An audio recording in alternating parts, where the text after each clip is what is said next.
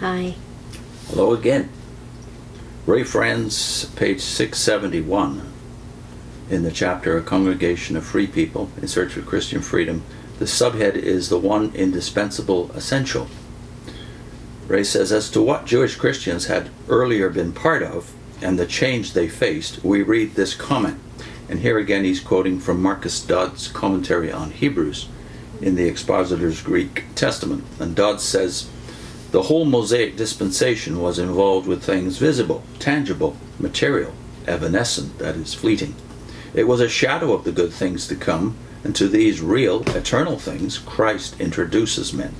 In him we have throughout to do, not with external ceremonies and temporal arrangements, but with what is spiritual.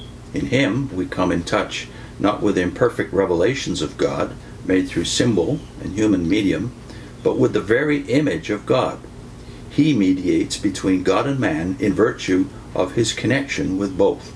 He leads men into the true relation to God, by himself perfectly fulfilling the human life in obedience to God's will.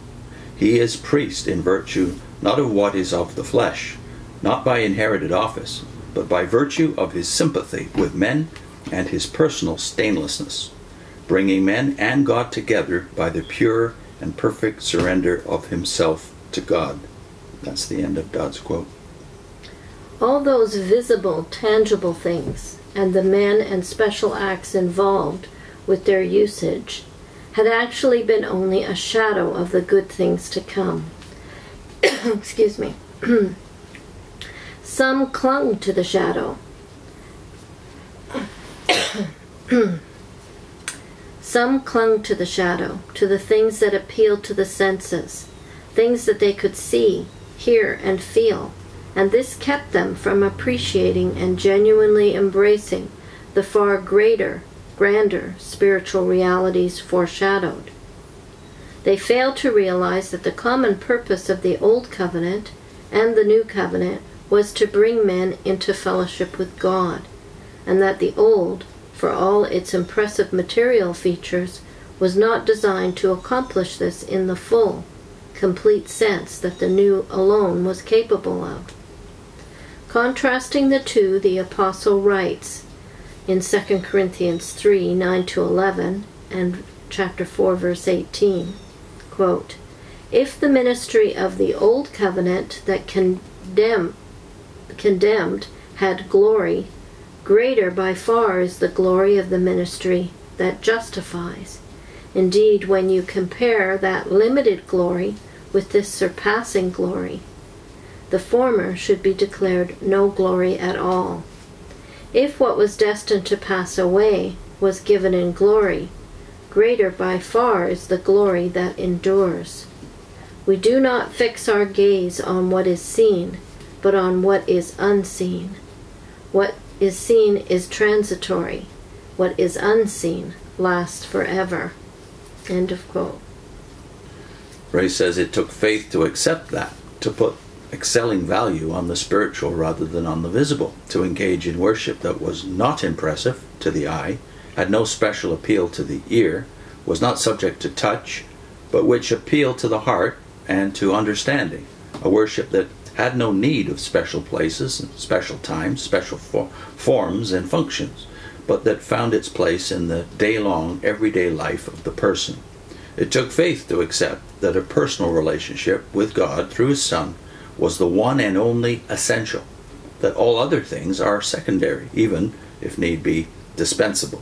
It takes the same kind of faith to make a similar placement of values in our time. Mm-hmm. So again, I think he's putting too much emphasis on on uh, physical versus spiritual, as if the one is replacing completely uh, the former. You know, they they had they ha- they had something new, and that was justification, reconciliation with God. But that didn't mean that there was no need for for any kind of of physical any any uh, forms or or structure in worship or in, in coming together. And they had that in their the rest of their life, especially the Jewish Christians, for sure. Mm-hmm. But he does make a point about the reconciliation point that's Yes. important to you. And Yes, he in the footnote uh, when he was talking earlier, he has emphasizing that the basic purpose of his work was to bring men into an approved relationship with God. The Apostle Paul describes it as a ministry of reconciliation and stated, We are ambassadors for Christ, since God is making his appeal through us. We entreat you on behalf of Christ, be reconciled to God. So, yeah, so he, he does mention it, he does talk about it. Uh, I just think he, he kind of goes overboard at, uh, afterwards about there being. What did he say? It could be dispensable?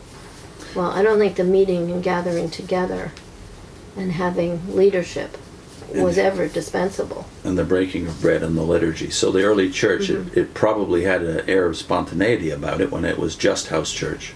And an intimacy, maybe, because they were meeting in homes. But there's every every evidence that within a few generations they had their own liturgy. They Mm-hmm. had their own forms going that were not totally distinct from the Jewish because they were still doing the Jewish thing as far as we can tell. Mm-hmm. Yeah.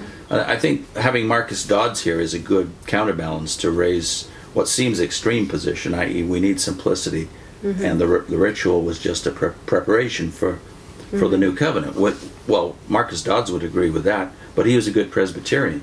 And if you've ever been to a Yeah. Mm-hmm. Presbyterian church, as we have, Presbyterians' churches are quite simple. Mm-hmm. So if you're driving through the American countryside, you're going to see all these white, these pretty white buildings, usually fairly small.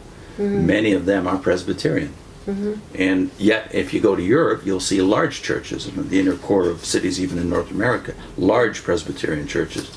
So I think they strike the balance, which is mm-hmm. simplicity, yes, but not extreme. I.e., they some of them will have stained glass windows, and some will have a cross.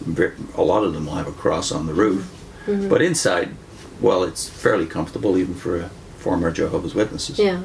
And all the church put an emphasis on hearing the word together. Yeah. I would say that's true of all the different churches. And another thing about Presbyterian simplicity, not as extreme as the Baptists, mind you, and the Brethren, but they're very big on local autonomy, so that all of the churches have a measure of local freedom. Mm-hmm. But on the other hand, they're connected by synods and other connection seminaries, Education, yeah. so that there is a built-in accountability mm-hmm. to counterbalance the stress on simplicity compared to the older churches. Mm-hmm. So we were going to link to a video that we did called JWs, or Jehovah's Witnesses, was Apostle Paul apostate? Did James and Paul compromise the gospel? Okay. And next time, the body of Christ, a religious organization or a family-like community? Mm-hmm.